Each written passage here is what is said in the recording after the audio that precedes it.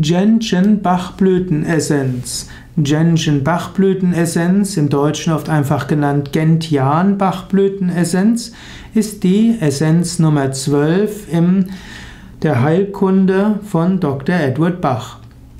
Gentian Bachblütenessenz wird gewonnen aus dem Herbstenzian, der auch genannt der bittere Fransenenzian, auch genannt auf Lateinisch Gentianella amarella.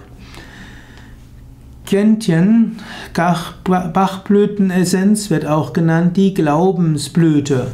Sie will helfen, aus einer zweifelten Gemütszustand zu kommen, zu einer, zum Vertrauen. Die Gentian Bachblütenessenz ist also eine Blütenessenz, die helfen will, Pessimismus zu überwinden, negatives Denken zu überwinden, Selbstzweifel, Schicksalszweifel, schnelles Aufgeben bei Schwierigkeiten, Befürchtungen, Niedergeschlagenheit und Traurigkeit. Manche Menschen sind sehr pessimistisch, sie sind voller Zukunftssorgen und Versagensängste. Auch das ist natürlich, hat etwas mit Glauben zu tun. Wer immer das Negativste annimmt, der hat auch einen Glauben und zwar keinen positiven.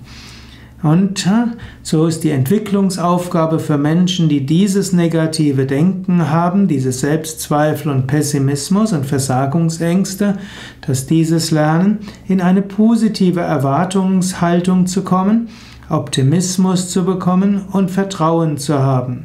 Und auch Vertrauen zu haben, dass man auch dann weiterkommt, wenn es mal nicht so gut geht. Denn natürlich gibt es Konflikte, natürlich gibt es Scheitern, aber daran wachsen wir.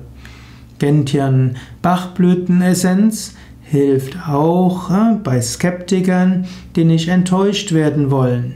Gentian Bachblütenessenz kann man wie alle Bachblüten mehrmals am Tag nehmen. Bewährt hat sich zum Beispiel viermal am Tag vier Tropfen aus der Pipette zu nehmen und dabei kann man auch eine Affirmation wiederholen, wie zum Beispiel, ich entwickle Zuversicht, ich vertraue dem Leben, ich vertraue Gott, ich lerne aus allem, was geschieht.